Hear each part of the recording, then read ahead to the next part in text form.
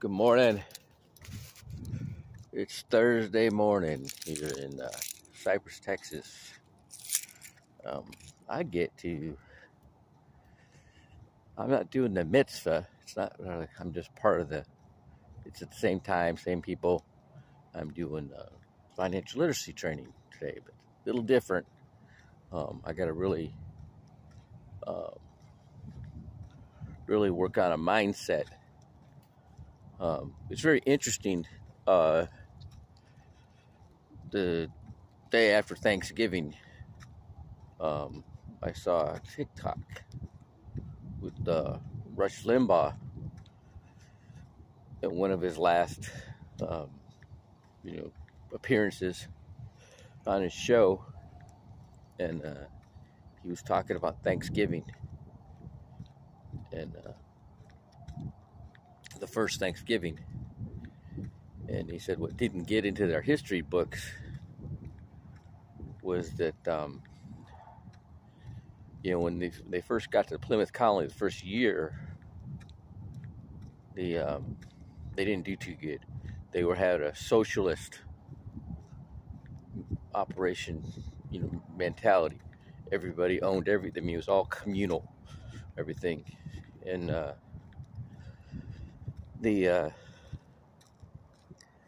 God, what was the name of the William something? William Brad Bradford, I think, was the name of the um, the governor of the Massachusetts colony, and uh, they barely made it through the winter, and uh, a lot of people died and stuff, and and um, the Indians helped them out, showed them how to, you know, plant crops and you know put the the fish heads in with the the corn, like for fertilizer and all that kind of stuff. And made it grow bigger and stuff, and uh, you know, produce more. And uh, but he, he what he decided to do, he saw that the socialist um, model wasn't working, so he divided up all the their land in, in plots equal plots and gave it to the people. They could do with it whatever they wanted. And uh, he basically um, encouraged free enterprise, and they produced so much that they were able to uh, share that with their Native American, you know, the, the Indian neighbors and that's what was the, really their celebration, right?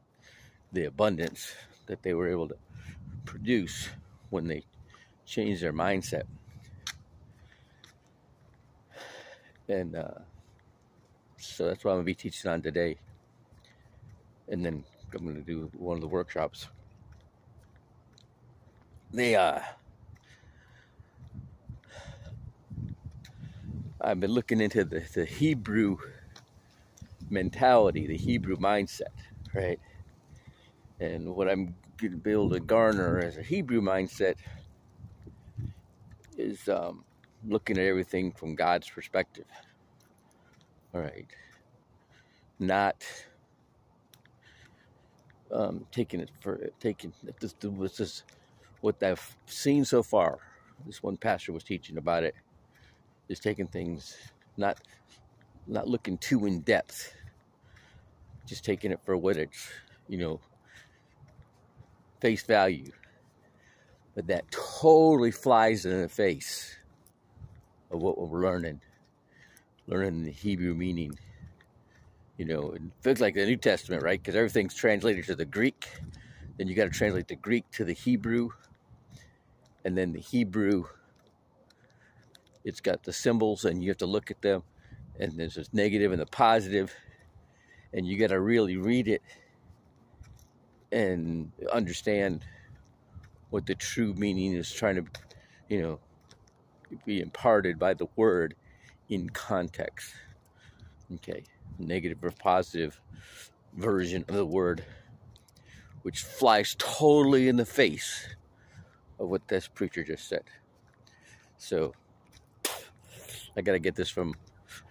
There's a, a lady from the church. She teaches the Hebrew, so I'm gonna be talking to her. All right, it's a chilly, brisk day. I'm gonna get up my, start running, to get some body heat going, get my work. I gotta get ready for my class. All right, have a good day.